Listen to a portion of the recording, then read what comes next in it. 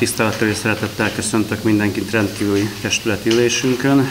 Megállapítom, hogy a képviselőtestület 9 fővel határozat képes, három képviselőtársunk jelezte távolmaradását. A kiküldött meghívó képest a napirendi pontok tekintetében szeretnék eh, változtatást eszközölni, új napirendi pontokat fölvenni.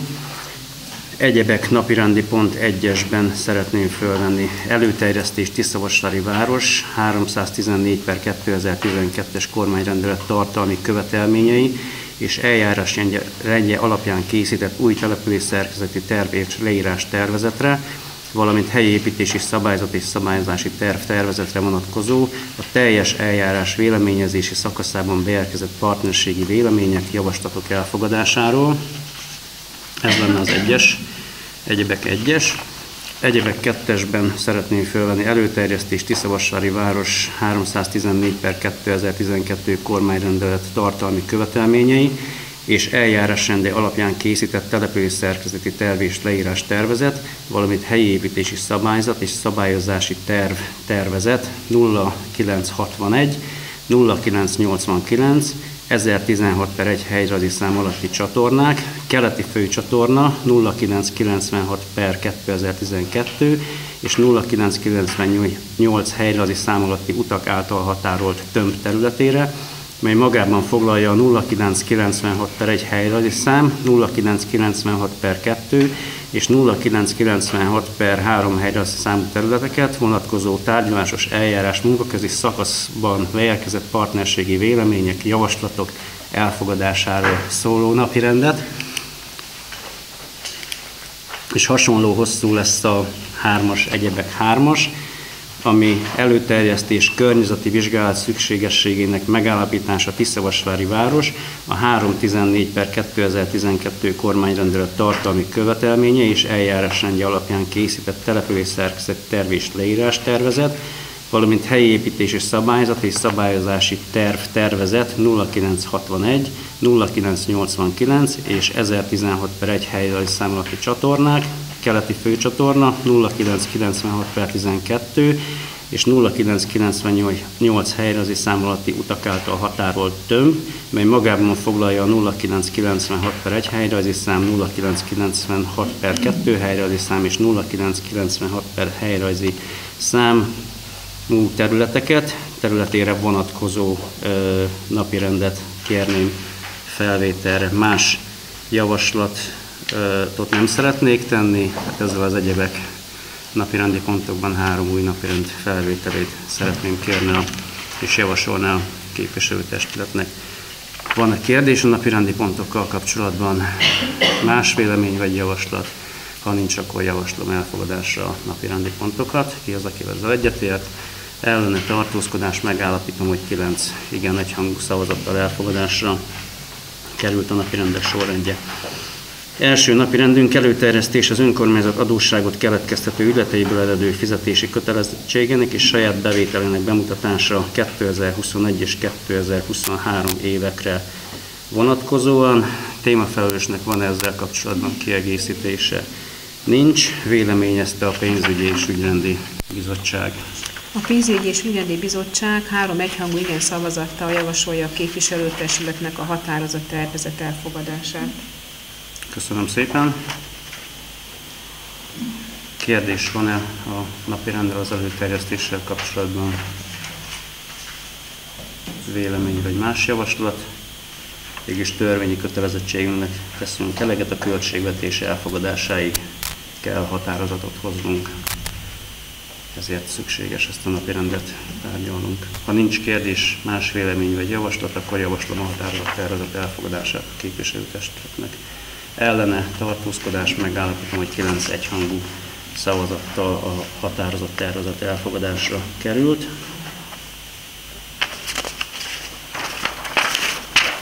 Második napi rendi pontunk előterjesztés Tiszavasvári város önkormányzata 2020. évi költségvetéséről. Témafelelős Köblös Máté.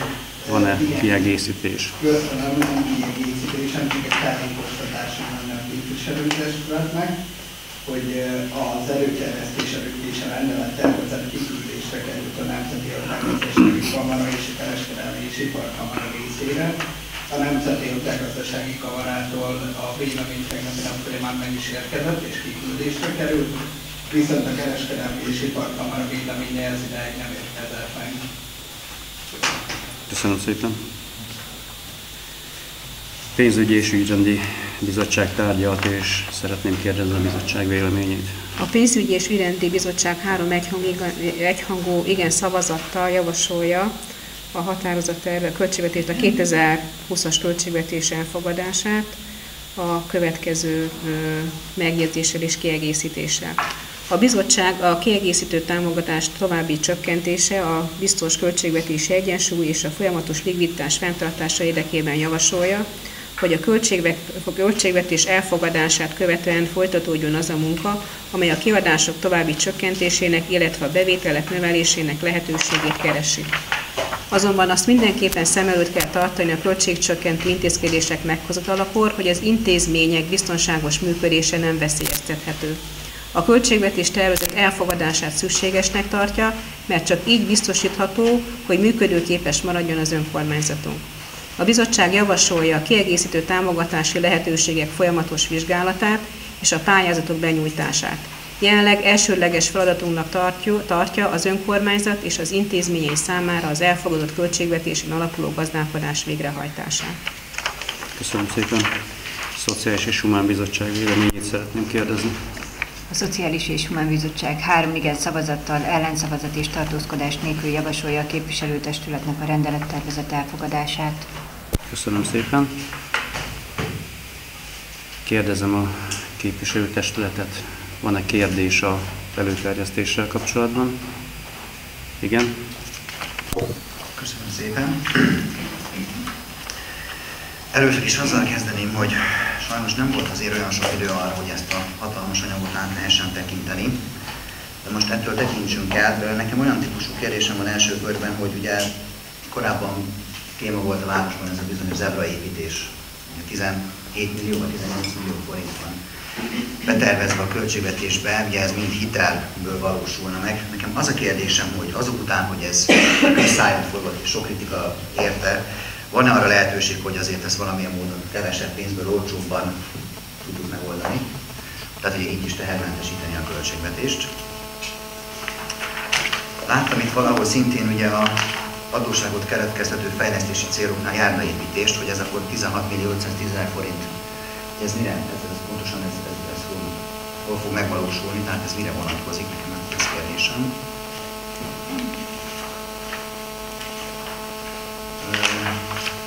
Amit még szeretnék kérdezni, itt a 20.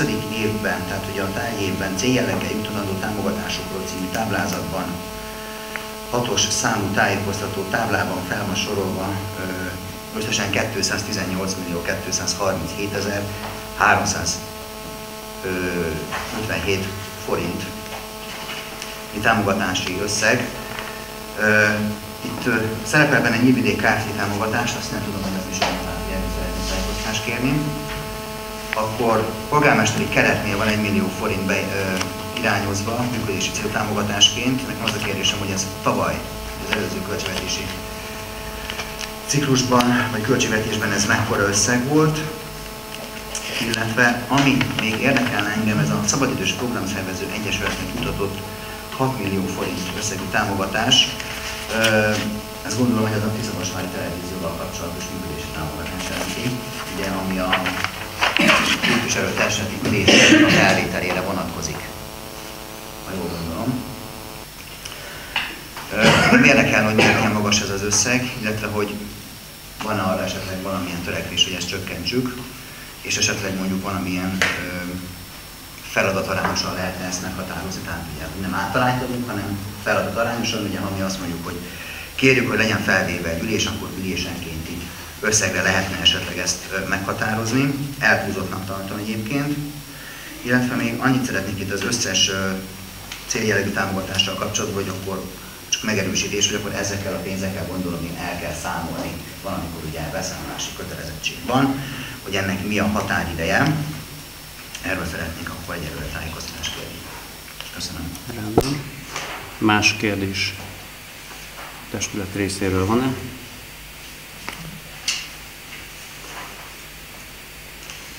Nincs más kérdés? Jó, akkor talán a hitelkeretről, a zebraépítésről ejtsünk akkor néhány szót. Valóban egy 18 milliós hitelkeret, hitelfelvételi lehetőség van beállítva. Ezt a kormánytól engedélyként megkaptuk, a szerződést már megkötöttük. Ez a keret ez rendelkezés, rendelkezésre áll. De úgy, hogy ezelőtt több hónappal és képviselőtestületülésen és más fórumokon is jeleztem, ez egy keret.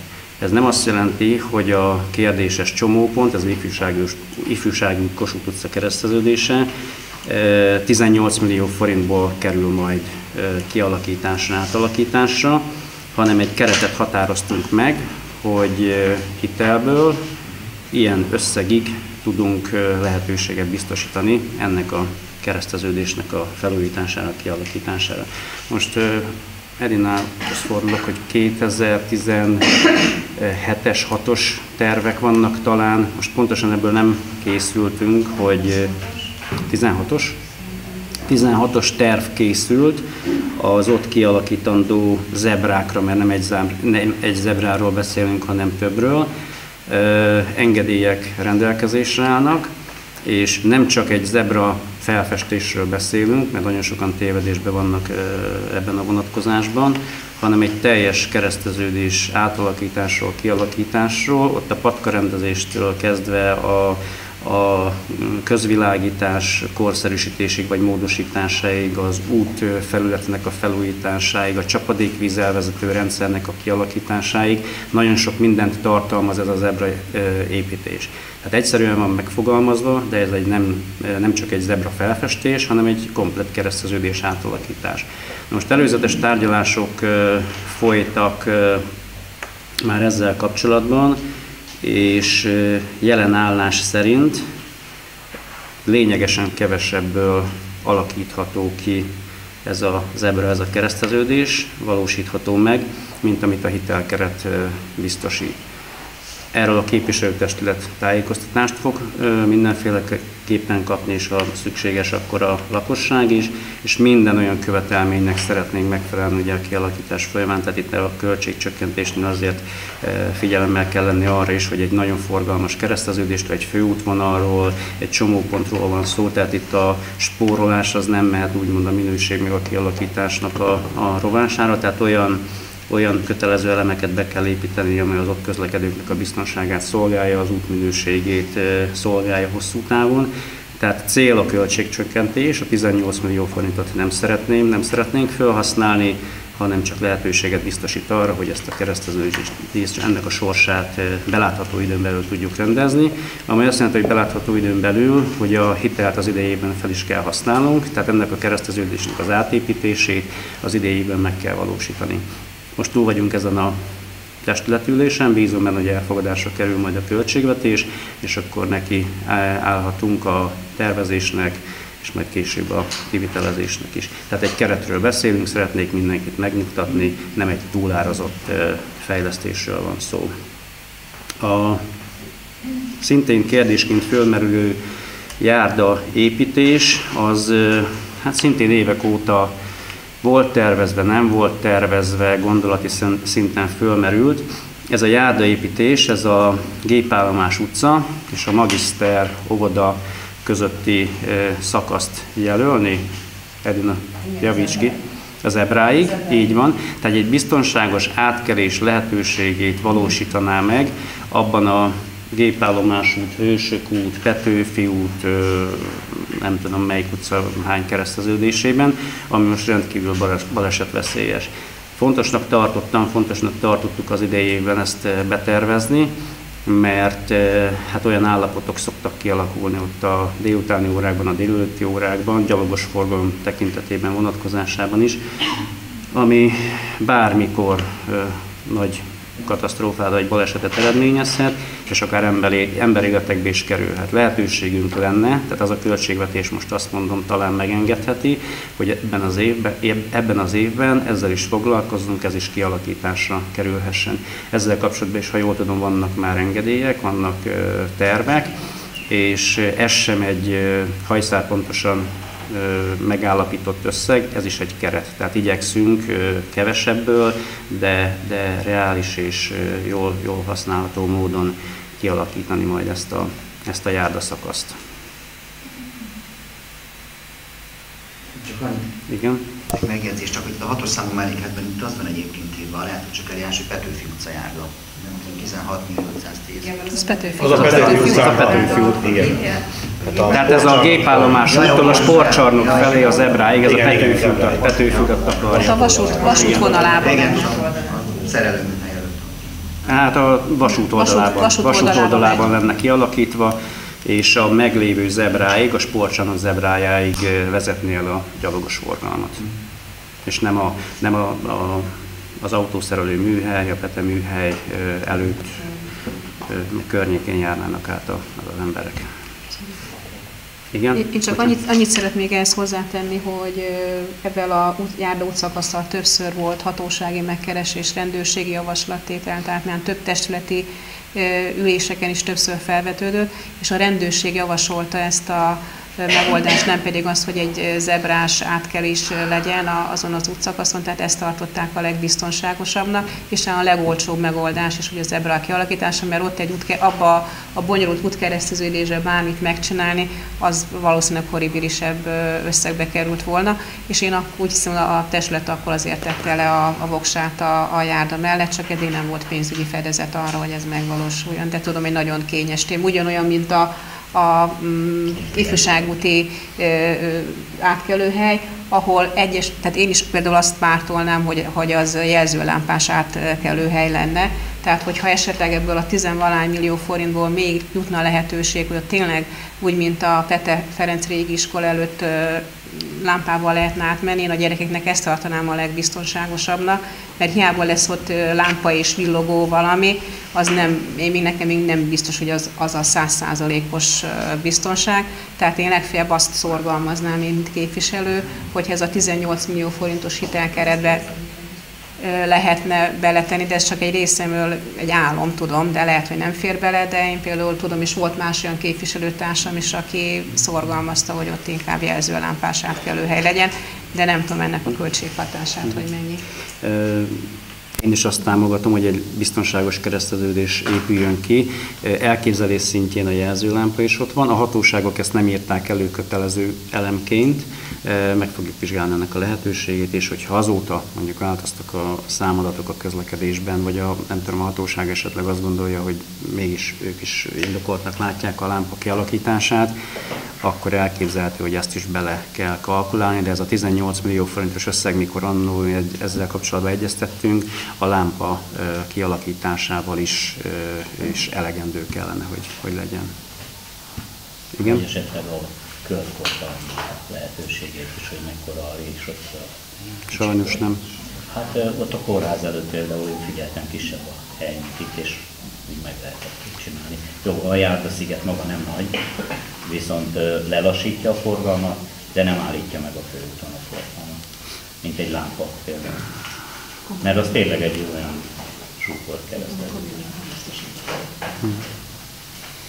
Tehát a, a kamionoknak lenne kicsit az így.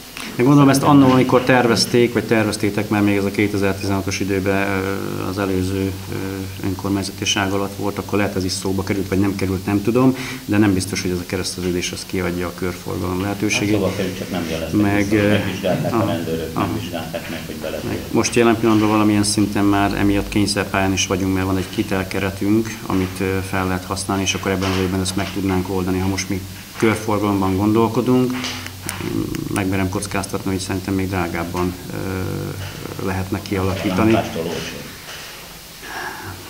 De a. Nem tudok ebben most nyilatkozni, az biztos, hogy a, a zebrás kereszteződésünkre minden készen áll, keret is van rá, hitelkeretünk is van rá, és jó irányba mutatnak a számuk, tehát lényegesen kevesebből fogjuk tudni megvalósítani, hogyha majd e, odáig eljutunk. Köszönöm. Volt kérdés a Nyírvidék Kft. támogatásával kapcsolatosan, ez egy régi szerződés, nem tudom, hogy ki tud ebben nekem pontosan segíteni, egy képzés, nagyon megköszönném, mert beszéltünk mi erről, és A város konzorciumban pályázatot nyújtott be, jól emlékszem 2004-ben, egy térségi integrált szakképzőközpont kialakítására, Nagykálló, Nyíregyháza és Tiszavasvári. Tiszavasvári 11%-ban tulajdonos ebben a Gyérvidék TISZ Kft-ben. Ez egy képzési központot akar az Árok utca 53 szám alatt Nyíregyházán. A Kb. 10-12 tanévben a mi iskolánk is igénybe vette ezt a képzési központot, az elmúlt két tanévben már nem jártunk be ebbe, hiszen ott fejlesztések nem történtek, és a meglévő tanműhelyi eszközünk, eszközei modernebbek, mint az integrált szakképző központban az eszközök, viszont jelentős tulajdona van Tiszavasvárnak, 11%-os tulajdona, ez egy közel másfél milliárdos pályázatból készült el annak idején, ezt a tulajdon, beszéltünk már erről, hogy esetleg lehetne tovább lépni ebben ezt a tulajdon pénzét tenni, esetleg kiszállni ebből a konzorciumból. Egyelőre körülbelül ez a fenntartás összeg terhelni, hogy működni tudjon az a, a intézmény. Jelen pillanatban is oktatás folyik benne, a, ugye mi most a Nyíregyházi Szakképzési Centrum iskolái közé tartozunk, és a centrum iskolái használják ezt a képzési központot, felnőtt képzések és más egyéb tanfolyamok szoktak még benne lenni. Jelen pillanatban mi már nem használjuk két tanulóta ezt az intézményt. Nincs olyan tanműhely, ahol, ahol, ahova be tudnak menni, hogy érdemben tudjanak a gyerekeim tanulni. Inkább a saját tanműhelyünkben oldjuk meg. Nyilván ez egy nyitott kérdés, hosszú távon át kell gondolni, hogy megpróbálunk kiszállni ebből a konzorciumból, úgyhogy azokat a eszközöket, esetleg pénzügyi támogatásokat esetleg meg tudjuk kapni, a Nyíregyház esetleg igényt tartana erre a dologra. Ez egy tárgyalási folyamat lesz. Nagykálló jelezte, hogy ők fel kívánják tartani, beszéltem ott a nagykállóiakkal a, nem olyan régen, felügyelőbizottság ülésen, ők egyelőre fönt kívánják, fönt kívánják tartani ezt a fajta konzorciumi tagságot. De nem tanul senki Vasvárból most nem legfeljebb azok a gyerekek, akik más iskolába járnak, tehát a, a Bánki jár, a Sipkai jár, a Bencs, az Incédi, tehát a gyerekházi iskolák járnak. Jelen. Mivel azonban tulajdonosok vagyunk, ugye 11%-ban, ezért ezt a ö, hozzájárulást ezt terveznünk kellett. Január hónapban igazgatóra, képviselőre váltottunk már erről ö, néhány szót, és ö, fel is írtam most magamnak, hogy tárgyalásokat fogunk kezdeményezni a, a lehetőségekről mert ahogy képviselő is elmondta, igazán Máté Szavasvárjának ebből hozadéka plusz dolog nincs, amivel, amivel nekünk több lehet, és mivel kiadásunk keletkezik, ezért a, a jövőre nézve érdemes elgondolkodni azon, hogy hogyan tovább. Fogjuk tájékoztatni a képviselőtestületet a tárgyalások eredményéről, menetéről majd, de ez már gondolati szinten fölmerült, viszont a költségvetésben az fennálló helyzet vagy állapot miatt terveznünk kell ezt a kiadást. Polgármesteri keret. Ha kihagyok valamit, akkor szóljon képviselő úr. Tavalyi évben 800 ezer forint volt a polgármesteri keret, az idei évben 1 millió forintra emelkedett, emelkedik vízhatóan, vagy remélhetőleg majd, ha a képviselőtestület ezt jóvá hagyja. És hát az indokolja az emelést, hogy a költségvetési kondícióink lehetővé teszik azt, hogy ne megszorításokban gondolkodjunk, nem csak itt, hanem más területeken, hanem plusz támogatásokban, vagy hozzájárulásokban, fejlesztésekben, felújításokban, és ez a 800 ezer forint az elég régóta fennálló keretösszeg volt, és az elmúlt időszak már az bebizonyította, hogy ezek az összegek ezek kevésnek bizonyulnak, nagyon sokan fordulnak segítségért, támogatásért, és ebből van lehetőség kisebb-nagyobb összegekkel óvodákat, civil szervezeteket, egyesületeket támogatni. Úgyhogy ez, ezért vált most esedékessé. Fölmerült kérdésként a Szabadidős Program Szervező Egyesület. Én javasolnám képviselő úrnak a többi sornak a megvizsgálását is, mert ha a Szabadidős Programszervező Egyesület megemelkedett támogatásáról kell beszélnünk, akkor én azt gondolom, hogy kell beszélnünk a többi sorról is, például a köztestületi tűzoltóság, ami másfél millió helyett kettős fél millió forint tervezett támogatást kap az idén, a Tiszavasvári polgárőrség, ami eddig hosszú-hosszú évek ö, alatt méltánytalanul alacsony 500 ezer forint támogatást kapott, most meg szeretnénk duplázni 1 millió forintra. A diáksport támogatása is emelkedik, és amit fontos megjegyezni, kultúra, Tiszavasvári Városi Fúvózenekar, talán van tíz éve is, hogy támogatáshoz nem jutott. Most ebben a javaslatban 1 millió forint szerepel. Azon túl meg kell említeni az olimpiai baráti kört, akik szintén magasabb támogatási összeget kapnak, és igazán kárt senki nem szenvedett. Mindenki lehetőségekhez képest, költségvetési számainkhoz képest magasabb összegben részesül, mint eddig az elmúlt esztendőkben, és azt gondolom, hogy a Szabadidős Program Szervező Egyesület is egy olyan egyesület, ami értéket teremt, ott van mindenhol a városban, közvetíti a történéseket, az eseményeket, nem csak a képviselőtestületüléseket, és azt gondolom, hogy ők is megérdemlik azt, hogy hosszú évek óta emelkedjen a támogatási összegük.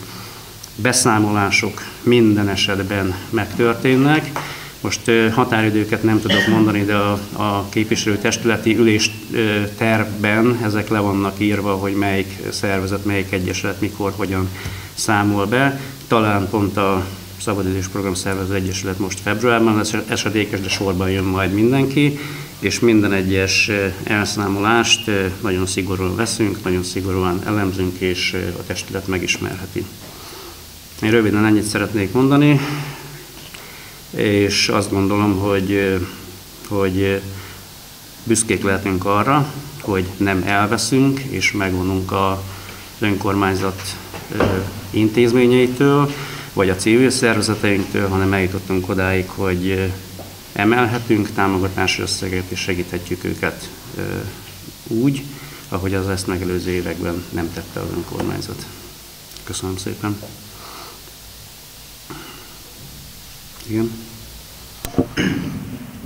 Csak reagálásként annyit szeretnék elmondani, hogy az egy jó dolog, hogy mondjuk a tűzoltóság, a polgárőrség, vagy akár a diáksport, az több pénzt kap, meg épp nyilván azért jobban értjük azt, hogy mi az a tevékenység, amit végez. Most a programszervező egyesületnek a támogatásával kapcsolatban, tehát amikor elhangzik az programszervező egyesület képviselőjétől, hogy nekem csak az a dolgom ezért a pénzért, hogy felvegyem a testületüléseket, úgy, hogy közben az egész szervezetünknek a költségvetésének több, mint a felét önkormányzati támogatás állja. Szerintem ez a fajta hozzáállás nagyon cinikus, ahhoz képest, hogy egyébként ugye közpénzből kapja a működési támogatásának, vagy a költségvetésének több, mint a felét. Tehát ha marad is a támogatási összeg, én azt gondolom, hogy legalább a feladat meghatározás, vagy a feladatszabásnál ezt ki lehetne terjeszteni, hogy ne csak a testületüléseket vegyük fel például, hanem mondjuk a bizottságüléseket is. Korábban elhangzott, hogy hát ott van a lényeg, és pont a lényeget nem látja senki. Úgyhogy én ezt mindenféleképpen javasolnám, hogy ez is szerepeljen a adott esetben a támogatási megállapodással kapcsolatban a feladatok mellett, illetve mondom, tehát azért tartom elhúzottnak, mert ha valaki ennek, akkor valakinek ugye költségvetésének több, mint a felét kapja valahonnan, és utána azt a választ hogy de nekem csak ennyi a dolgom, és ha visszaosztanánk, hogy mennyi ez a képviselő testületi felvétel és hány százezer forintra jön ki, lehet, hogy nem a leggazdaságosabb ez a dolog, tehát nem mondja utána azt, hogy de én azért mellett egy csomó mindent csinálok, meg egy csomó műsort csinálok, amikor egyébként nekem nem lenne dolgom. Hát nyilván persze, hogy nem, mert ez van kikötve, de hát lehet ez másképp is. Tehát vagy adjunk annyi pénzt, amennyit egyébként mondjuk piaci alapon megéri felvenni egy testületi ülést, vagy pedig akkor szabjunk olyan plusz feladatot, ami arányban áll az egész egyesületi költségvetéshez mért önkormányzati támogatásra. Nekem ez a javaslatom. Köszönöm szépen. A programszervező egyesülettel kötött szerződés az most végül is nem része a költségvetési egyeztetésnek, megnézhetjük, visszatérhetünk rá. Annyit viszont mindenféleképpen szeretnék megegyezni, hogy azt, hogy mit nyilatkozott az Egyesületnek a elnöke, és miért, azt én nem szeretném vitatni, és nem, nem is kell, hogy ez kérdés legyen. Az viszont, az viszont tény is való, hogy Aki akarja, az látja, hogy nem csak a testületi üléseket közvetíti ezért a támogatásért a Szabadidős Program Szervező Egyesület, hanem ahogy mondtam, mindenhol ott van, ahol történik valami Tiszavasváriban, legyen az egy kulturális rendezvény, legyen az egy iskolai esemény, vagy legyen bármi más. És ezért ő soha plusz támogatást nem kért, nem kapott. Ebből a keretösszegből, ha tudja, ő ezt megvalósítja, mi ezt nem firtattuk. A a szerződésben vállalt kötelezettségeinek pedig eleget tesz, de ha úgy gondolja a képviselő úr, akkor a beszámoló alkalmával majd lehet kérdésekkel fordulni az Egyesület képviselőihez. Én azt gondolom, hogy a támogatás indokolt és szükséges, az Egyesület azt a munkát, azt a feladatot elvállalja, elvégzi, amit elvállalt, és azon túl is bőségesen teljesít. Én ennyit tudok hozzáfűzni. Köszönöm szépen. Van-e még kérdés a előterjesztéssel kapcsolatban? Mondatom lenne ehhez.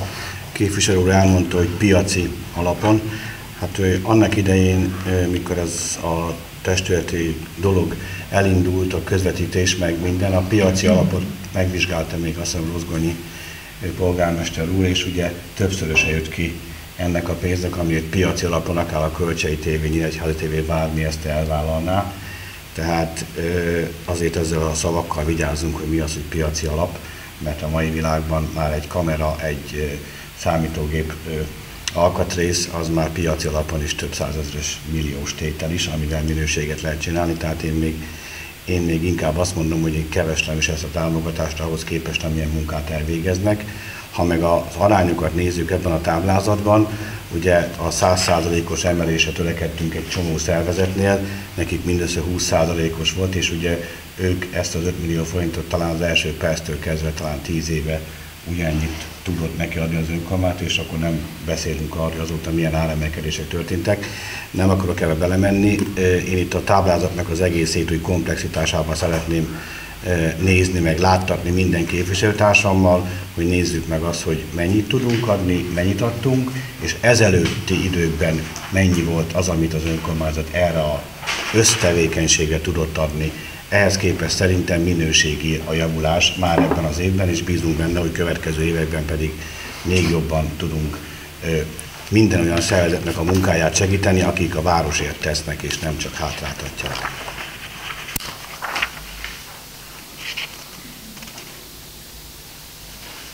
Köszönöm szépen. Van-e még kérdés, vélemény, hozzászólás? Tessék.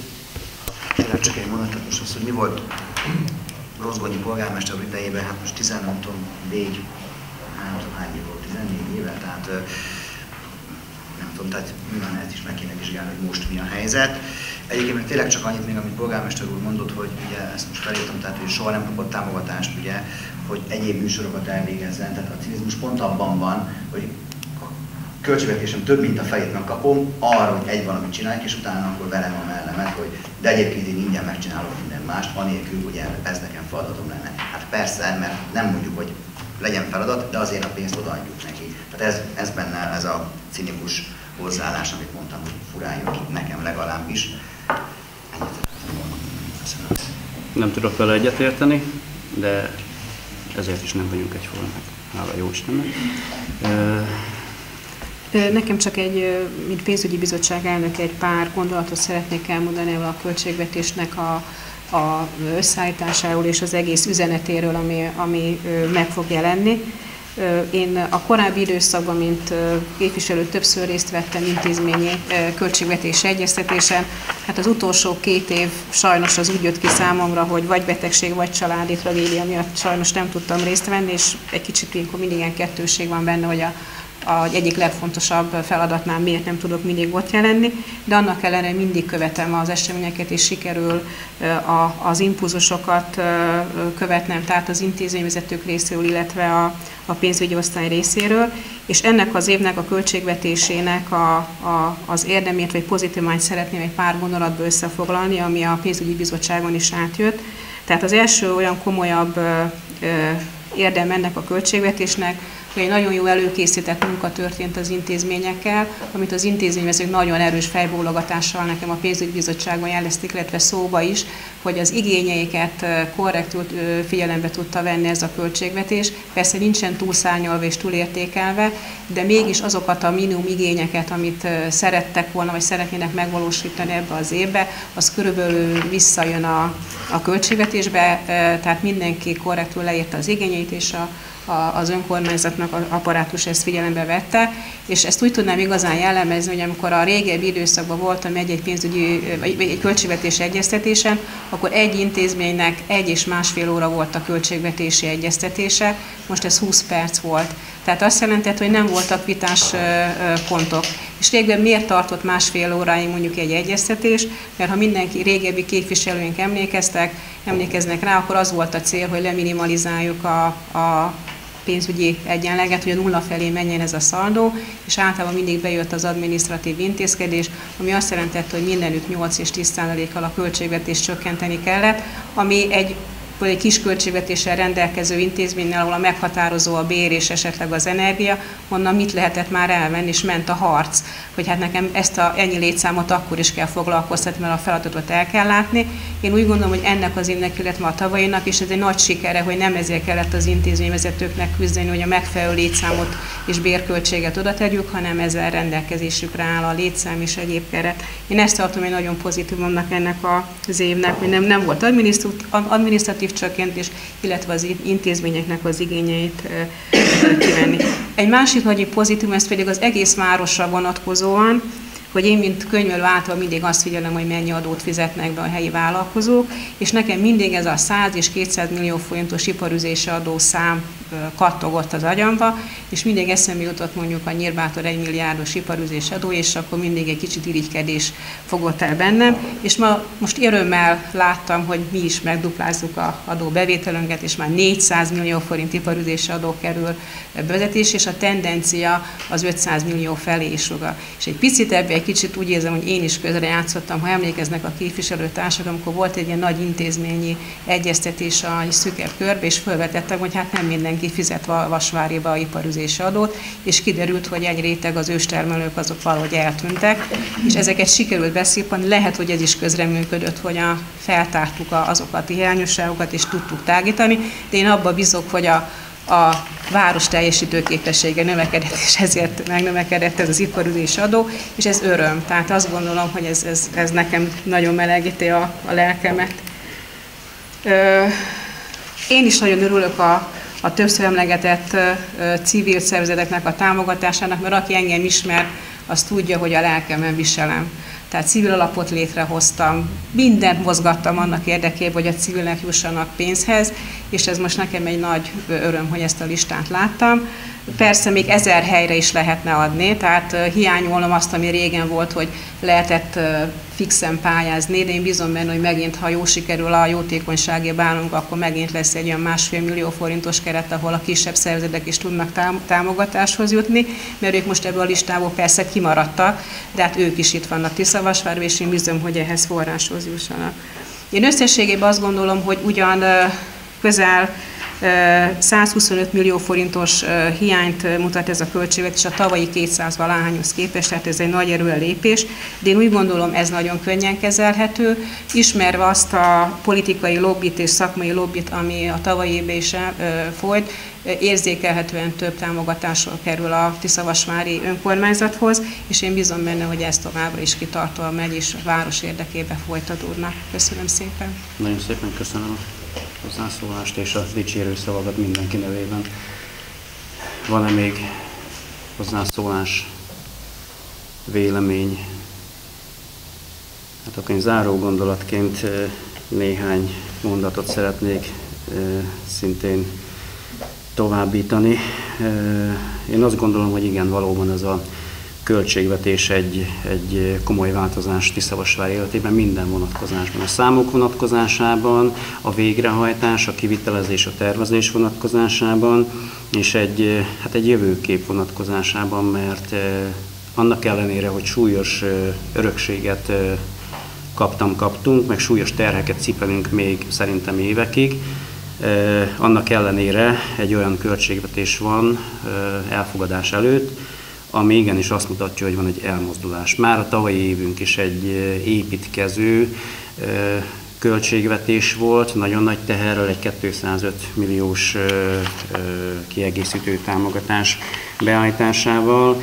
Ez az idei évre ugye 160 millióra csökkent, azért 45 millió forint az egy nagyon-nagyon komoly tétel, és nem egy emelkedést mutat, hanem, hanem egy csökkenést, és ez azért egy pozitív pozitív üzenet. Persze itt is lehetnek meglepetések, mert bármi történhet, bármi előfordulhat, de az elő, előrejelzések alapján én azt gondolom, hogy bizakodóak kell, hogy legyünk. Ugye elhangzott az iparüzési adó vonatkozása. Tavaly, mikor terveztük a költségvetést, akkor én azt mondom bátran egy 350 millió forintos iparűzési adóbevételt beállítottunk, hogy bízunk abban, hogy annyinak teljesülni kell, mert látszik azért, hogy, hogy itt is működik a gazdaság, és ezt a 350 milliós bevételt 6-7, nem tudom, néhány millióval még túl is teljesítettük 2019-ben, vagyis hát nem mi, hanem a gazdaság szereplői. De a tervünk az, az bevált, és most ezért is vagyunk bátrabbak, mert új cégek érkeztek, érkeznek a városba, komoly munkák indulnak el, és ők azért fognak hozzánk iparüzési adót fizetni, és bízunk abban, hogy ahogy az előrejelzések mutatják, az itt is meg fog mutatkozni, hogy a gazdaság működőképes, és, és nem visszaesés van, hanem növekedés, és ezért is merünk kicsit, kicsit optimistábban tervezni. Nem elrugaszkodottan azt gondolom, tehát ezek reális számok, amik iparüzési adó vonatkozásában beállításra kerültek. Tehát bátran mondom, hogy működik a gazdaság, és azon dolgozunk, hogy még jobban működjön Tiszavasváriban is, mert azért itt is kell, kell és van mit tenni van ö, lemaradás, amit, amit be kell hozni. Dolgozunk azon, hogy befektetők jöjjenek, új cégek, igyekszünk segíteni, amennyire tudjuk a, a helyi vállalkozókat, vállalkozásokat, akár a kapcsolataink által, akár, akár a, a, a helyi ügyintézések, vagy bármilyen más segítség formájában.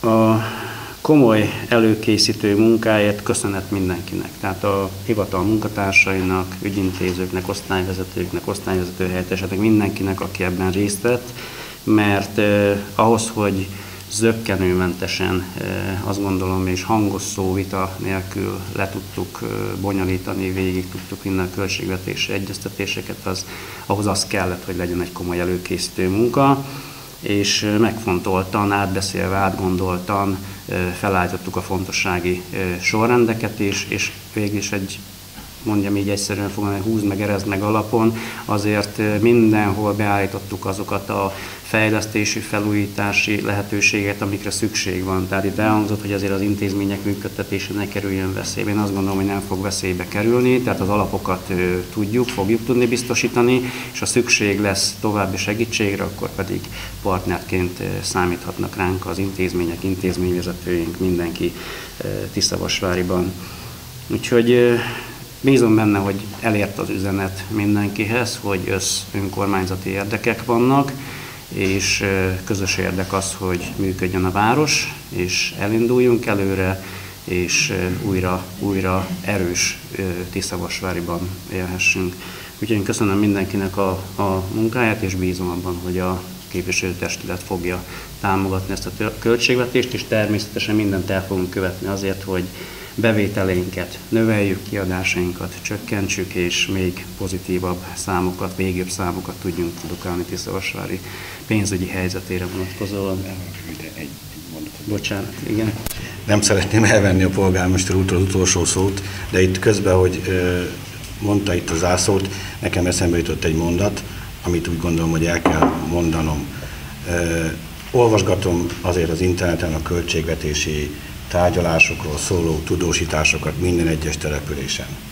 És ezért ez fontos hangsúlyozni, hogy ez a költségvetés, amely így alakult, ha nem is annyira happy, de, de kezelhető, nem úgy alakult ki, hogy a lakosságot, illetve a vállalkozókat mondjuk plusz adókkal, illetve mondjuk az iparőzési adó megemelésével, ami nálunk eléggé alacsony a tele, nagy, nagyobb településekhez képest, mondjuk ezzel értük volna ezt a változást. Tehát mindenképpen ugye jól kalkulálható van, ez eléggé alacsony adószámokkal dolgozunk, a lakosságot pedig nem terheljük. Tehát ez egy nagyon fontos üzenet még emellé a gondolatok mellé szerintem, hogy ezt is figyelembe kell vennünk itt képviselőknek, hogy nem a lakosságot sarcoljuk ezzel a történettel, hanem inkább megpróbálunk más helyeken takarékoskodni és bevételt szerezni. Úgyhogy ennyi is. Jó, még egy gondolatot azért ébresztett bennem a polgármester úr, ha már az adókról szó esett.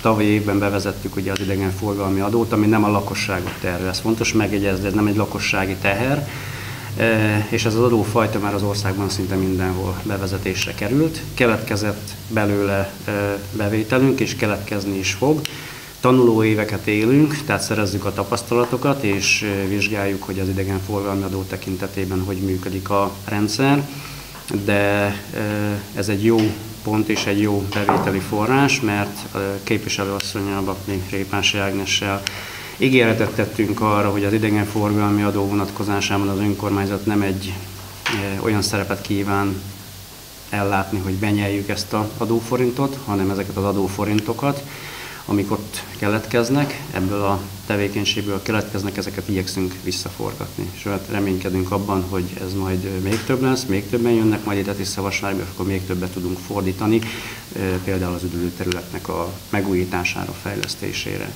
Ez még így adó vonatkozásában fontos volt megemlíteni, és nem áll szándékunkban továbbra sem adóemelés, sem a lakosság, sem a vállalkozás vonatkozásában. Igyekszünk a saját lehetőségeinket kihasználva plusz terhek nélkül működtetni a várost. Köszönöm szépen, ennyit szerettem volna mondani, ha nincs további hozzászólás, én arra kérem a képviselő testületet, hogy támogassa a 2020. évi költségvetési rendeletünket, fogadja el azt. Aki ezzel egyetért, kérem készfelemelésre élezze. Ellene tartózkodás. Megállapítom, hogy 8 igen szavazattal, egy nem szavazat ellenében a költségvetési rendeletünk elfogadásra került. Köszönöm szépen. És ha megengedi a képviselő testület, akkor újabb felolvasó délután nem tartanék, hanem egyebek egyesként szeretném a napirendi pontot tárgyalás sorozatba venni. Témafelelős Kovács Edina, van ehhez kapcsolódóan kiegészítése? Nincs. Van-e a képviselőtestületnek kérdése az előterjesztéssel kapcsolatban? Igen. Csak hogy ez. Tehát most tehát oda nekünk tegnap egy ilyen anyagot, igazából délután, hát most már címe is olyan, hogy fel kell olvasni, különben is lehet, nem tudom. Tehát ugye itt ugye folyamatban van a településrendezési eszközeinek a módosítása, ami már elfogadásra ugye a település szerkezeti és rendezési tervezek igazából 2004-esek, a helyi építési szabályzat 2012-es, ezeknek folyamatosan voltak módosításai, most pedig ugye már esedékessé vált, hogy akkor ezt egybeszerkesztve, újra gondolva aktualizáljuk. Ennek ugye már a folyamata megy, és legutóbb ugye volt egy partnerségi egyeztetés, ugye az önkormányzat partnerségi szabályzata alapján. Véleményezési szakaszban kiküldésre kerültek az állami gazgatási szervek részére, viszont kiegészítésre volt szükség ahhoz, hogy az ipari park pályázatunk, illetve a zöldváros pályázatunk megvalósulhasson, ezért ezt újból véleményeztetésre ki kellett küldeni, így újra társadalmi bevonást meg kellett tartani, azaz egy lakossági fórum tartása volt december 17-én, amelyre nem érkezett érdemi észrevétel és javaslat, sem a lakossági fórumon, sem pedig a lakossági fórumot követő 8 napon belül, ahogy azt a jogszabály előírja és ezt a partnerségi egyeztetési szakaszt pedig ugye le kell zárni, amiről a képviselőtestületnek döntenie kell. Erről ugye készült egy jegyzőkönyv is a partnerségi szabályzat alapján, ami előírja, hogy hogyan kell egyébként ezt a társadalmasítást megtartani, és igazából ezt a, ez alapján hozza meg a határozatát amiben végül is ö, tudomásul veszi azt, hogy a kiértékelés alapján ugye nem történt érdemi észrevétel, ezért ezt a partnerségi egyeztetést lezárja. És erről pedig ö, tájékoztatja a megbízott főépítést és a település tervezőt, hogy mehessen tovább a folyamat. Köszönöm szépen. De ezek a anyagok ö, régebben ismertek, tehát kiküldésre kerültek, csak a témafelelős által megjelölt két pontipari park és a 6661 per 4-es helyrejelzés számú terület miatt vált most újra aktuális ez a, ez a kérdés. Igen. Köszönöm szépen. Van-e még kérdés ezzel kapcsolatban?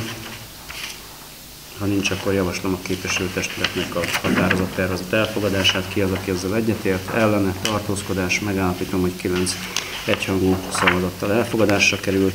Egyebek kettes napi rendi pontunkat tárgyalnánk itt a keleti főcsatorna felújításáról lenne szó. Ehhez van egy kiegészítés esetleg? Kiegészítés nincs, de akkor szintén egy kicsit mondatban. Köszönöm. elmondanám. Tehát ugye ezt ö, januárban tárgyaltuk ezt a testületi ülést, akkor ugye egy kormányhatározat alapján a keleti főcsatorna és övcsatornáinak a mederszelvény rekonstrukciós munkáihoz szükséges az, hogy a település rendezési tervben egy területet víz, víz mi az?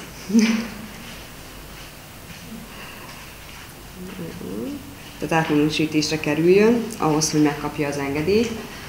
Ezért azt szintén bele kellett venni, vagy hát úgymond nem, nincsen még belevéve, ez egy külön tárgyalásos eljárásban van folyamatban, amit szintén ugyanígy egy lakossági fórum keretében társadalmasítottunk, aminek a megtartása január 30-án volt. Itt gyakorlatilag nem is jelent meg a lakosság részéről senki, nem érkezett vélemény, és ennek a szakasznak is le kell zárni a partnerségi egyeztetését. És ugyanez a, a határozat tervezet szintén ugyanez a, az előzőekhez hasonlóan. Köszönöm szépen. Van-e kérdés? Vélemény, más javaslat? Ha nincs, javaslom a határozat tervezet elfogadását. Ellene tartózkodás megállapítom, hogy 9 egyhangú igen szavazattal elfogadásra került, és akkor egyebek hármas napi rendi pontunk. Igen. Tehát ö, ebben a szakaszban, tehát ugyanúgy, mint a településrendezési eszközöknek a ö, véleményezésében kell egy környezeti vizsgálatra vonatkozólag is megkérni az ö, egyéb államigazgatási szerveknek a véleményét. Így gyakorlatilag kikérésre került a jogszabály szerint az, hogy szükséges a környezeti értékelés elkészítése.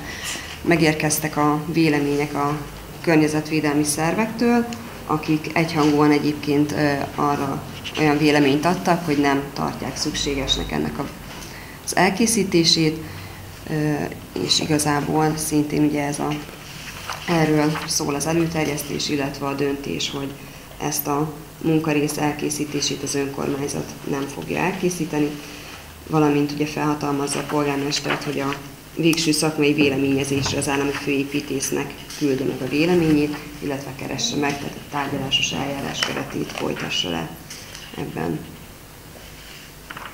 Köszönöm. Köszönöm szépen. Van-e kérdés? Vélemény, más javaslat? Ha nincs, akkor javaslom a határozat tervezet elfogadását.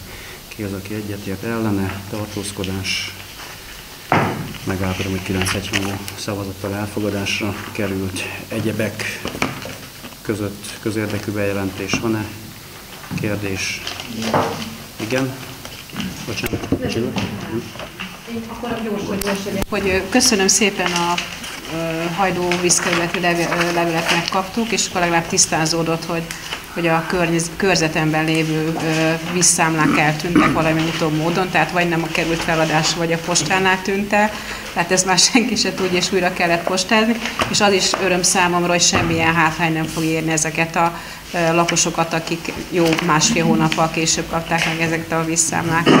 Tehát legfeljebb akkor annyit figyelnünk kell jobban nekünk is, hogy kapunk-e megfelelő rezsiszámlát, vagy nem. Köszönöm. Köszönjük szépen, és várjuk továbbra is az ilyen jelzéseket, mert ezek a lakosságnak is fontosak, és ha tudunk rá válaszolni, akkor meg segíteni, akkor az egy jó dolog. Köszönöm szépen, és tessék.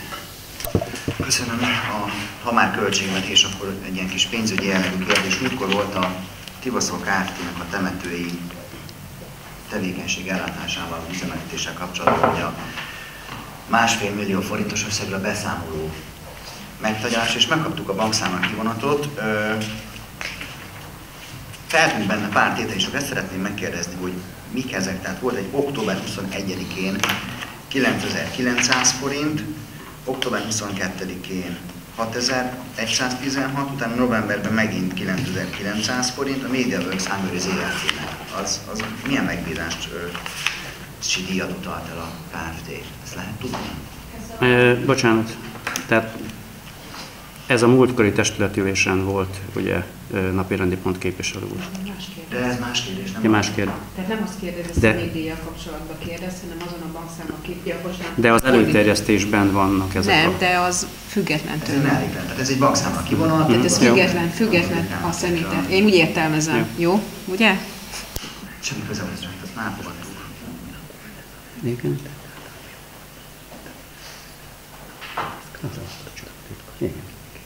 Tehát ez a napirend melléklete. De a napirend keretének a melléklete, nem? Tehát amit tárgyaltunk. A beszámolónak a része, amiből a... Más, más kérdés. Tehát, hogyha azt kérdezem, hogy mondjuk a Petőfi utcán miért ö, ö, romlott meg az út, vagy miért repett meg, akkor ez mihez kapcsolódik? Az se semmihez. Tehát azért egyebek, mert konkrétan semmelyik ez nem kapcsolódik. Jó, akkor halljuk a kérdést. Akkor. Tehát ez volt a kérdés, hogy mik ezek a megbízási díjak a MediaWorks Hungary ZRT-nek, amiben utal a Tibaszok Nonprofit Kft. több alkalommal az előbb felsorolt összegében ez a kérdés. Jó, erre írásban fogunk válaszolni De akkor.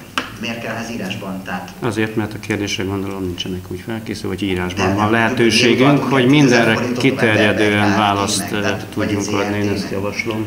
Jó, köszönöm Tehát ez szépen. a, nyilván ez az ellenzék, vagy a kormánypárti sajtót kiadó ugye, cég, ugye ez a 888 origó, stb. Nyilván a kérdés az, hogy miért utal neki Tiszavasvári önkormányzat által fenntartott, vagy tulajdonolt KFT pénzeket. Írásban megkapja képviselő a választ erre. Akkor nincs Köszönöm. válasz, jó, hát ez is egy válasz. De lesz válasz. Még egy kérdésem akkor, hogy majd tegyük már tisztába ezt az autós kérdést. Ugye négy autót bérelt a Non-Profit Kft. a Tivaszolg. Ugye kettőnek tudjuk már a helyét, azt lát, lát is látni, ugye van egy Octavia, az ugye ott van polgármester úrnál, van egy, van egy Fábia típusú, ezek mind vadi új autók, az ott szokott állni az óvoda előtt, én is többször láttam, de akkor a, másik, mi a helyzet a másik kettővel, tehát a Skoda Szkálával, illetve a, a tudom, Dacia Docker, hogy azt akkor ki kihasználja, vagy hogy használja, mint használja. Erről lehet tudni valamit. Írásban fogunk válaszolni a megadott határidőkön belül. Köszönjük a Hát kérdést, képviselő. Aztán, hogy kérdezzem meg a KFT-től, hát most itt vagyunk. Meg fogjuk kérdezni a KFT-től, és mindenre kiterjedően írásban fogunk választ adni, erre lehetőségünk van.